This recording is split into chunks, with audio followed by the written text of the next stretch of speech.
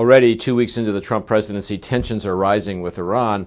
But the big question is still looming out there, which is what's the future of that U.S. Iranian nuclear agreement that President Obama negotiated and that candidate Donald Trump really didn't like?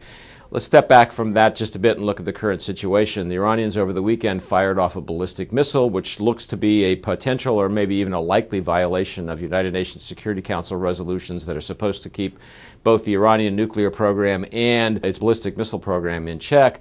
That produced a warning from the Trump White House this week that the Iranians are on notice, that the U.S. is watching this behavior carefully. There's also been some tension in the Persian Gulf, a confrontation between Saudi forces and Iranian forces there as well, and a dismissal by the Iranian leadership of the warnings from the White House. And so you have a ratcheting up of tensions. In the background of that, though, is a conversation that President Trump had with Saudi King Salman a few days earlier, in which he didn't say he was going to ditch that nuclear deal with the Iranians, but instead the White House said the president and the Saudi king had agreed to vigorously enforce that agreement, meaning to watch carefully for any violations and try to pounce on them.